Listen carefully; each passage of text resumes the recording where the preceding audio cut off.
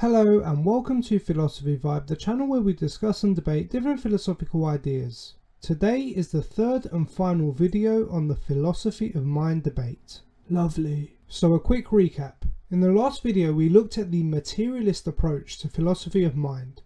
Materialism, unlike dualism, argues that the mind and body are not distinct but the same thing and mental states are nothing more than physical interactions. Correct. We looked at logical behaviorism, the idea that all mental states can be explained in terms of behavioral concepts. We also looked at identity theory, which argues that mental events are just in fact physical events, and the mind is a physical entity. The mind is the brain and nothing more. Mental states are just the physical chemicals of the brain.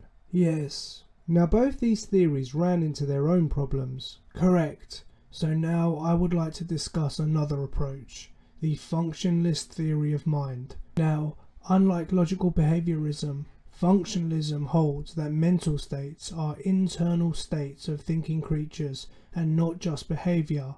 And, unlike the identity theory, functionalism does not claim the mind and the brain are the same, although both are physical, there is in fact a difference. What's the difference? Well, think of a computer. The mind is to the brain what a computer's software is to its hardware. I see. The mind then becomes the brain's program. In computers, the programs are not physical properties occupying space, although they have been created by such chemical or physical properties. So psychologically for humans, the mind is not a physical or chemical property, even if it has resulted from such a property. Our mental talk then becomes functional or program talk. In essence, our mental states, our beliefs, desires, pains are nothing more than numerous sensory inputs and behavioral outputs.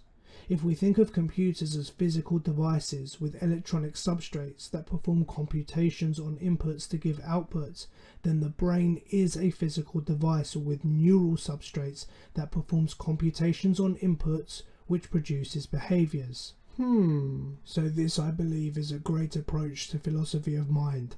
This is still a materialist view of the mind, but it does not run into the same problems as logical behaviorism or identity theory. I understand, but I do not feel satisfied. Why not?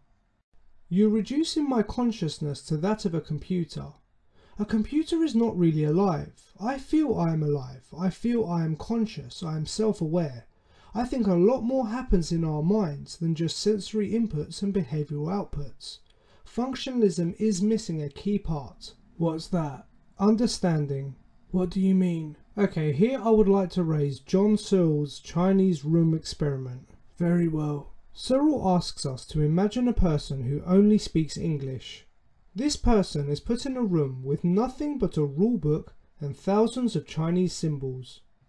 The room has a letterbox Occasionally, a paper with a Chinese symbol would be posted through the door. The rule book instructs the person that when he receives a certain Chinese symbol through the door, he will respond with another Chinese symbol. Outside the room, we have Chinese speakers. They are in fact writing questions to the English speaker and putting them through the door. As the letters come in, the person in the room matches the symbol in the rulebook and sends out another Chinese symbol. Okay. Now the Chinese speakers outside the room are inputting these Chinese symbols and getting outputs of Chinese symbols, and they're managing to have a perfect conversation that they fully understand. As far as they're aware, the person in the room is fluent in Chinese and is understanding everything. And just by looking at the inputs and outputs, we too would think the person in the room is fluent in Chinese but we know this person is not. He's just instructed to read the inputs and give the correct outputs. This person does not understand Chinese at all.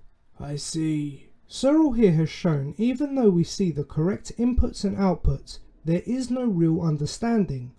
This is exactly how a computer works. It is not thinking, it doesn't understand, it has programs running given the right outputs to certain inputs, but it doesn't have mental states. The mind, however, is not like this. It does not work like a computer. The mind understands. Systems which operate merely on syntactic processes, so inputs and outputs, based on algorithms, cannot realize any meaning or intentionality. For the mind to be nothing more than a computer program would mean all our thoughts are just programmed outputs with no real mental states. Because of this, it doesn't seem like functionalism really explains the phenomenon of the mind. Yes, I understand. Exactly. Right, well that's all for the philosophy of mind debate. Thank you for watching. We hope you enjoyed the vibe. Please like, share and subscribe and help us grow this channel. We look forward to seeing you all soon. Bye bye.